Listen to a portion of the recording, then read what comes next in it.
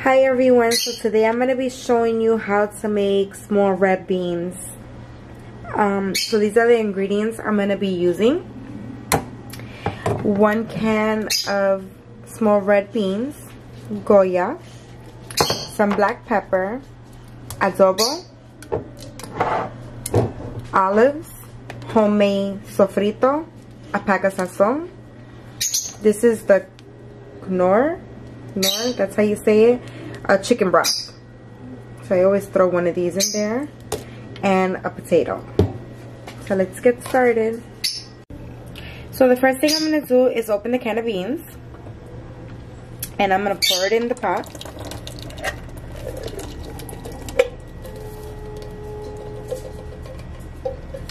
And then I'm to come and I'm to rinse them.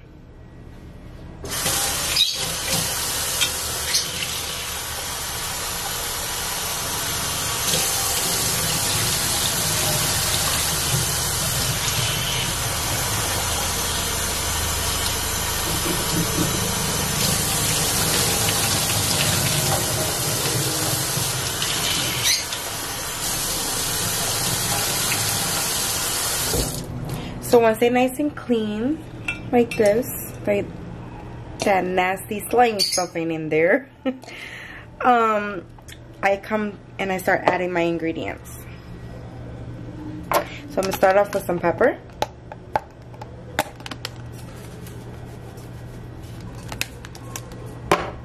I'm gonna add a little bit of adobo.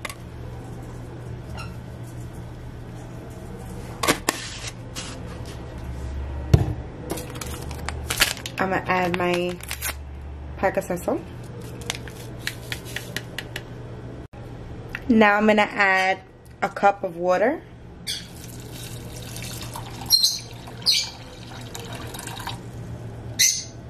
A little less than a cup. Then I'm gonna add some olives.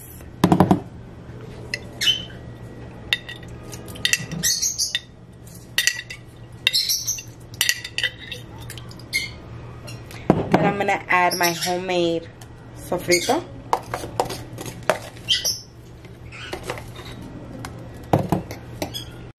So now the next thing I'm gonna do is I'm gonna cut my potato into little squares. I already peeled it, washed it. So I cut it like this. And then I come and I'll turn it over and I'll just cut that one twice. Just like so. Sorry. See? So you can see again.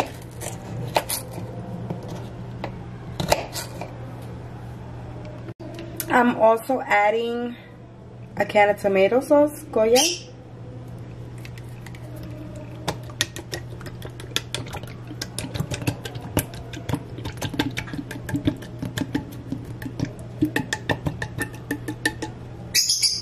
Then I'm going to come in and I'm going to mix everything. And once I mix it all, I'm going to put it on the stove and put it on medium to low. So it can um, cook thoroughly and incorporate all the flavor. And it can get a nice thick um, texture to it. Okay, so now I'm turning on my stove to medium low.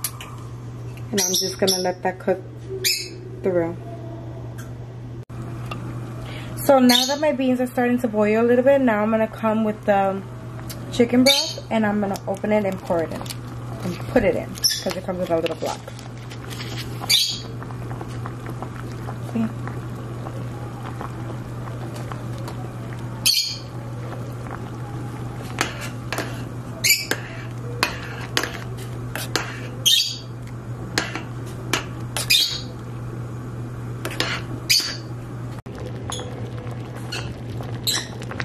Now that it's boiling, I'm gonna put it on low.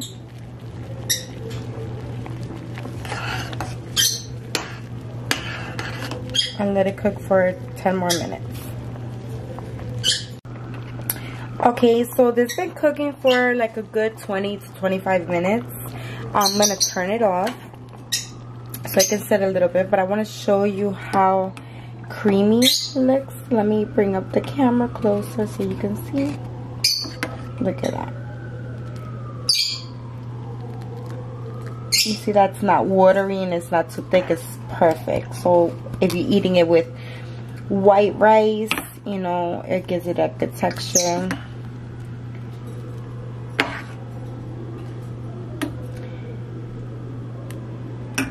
So I just want to thank you for watching me make my red beans. Um, if you guys have any questions, um, just comment below. Please don't forget to like, share, and subscribe. And see you next time.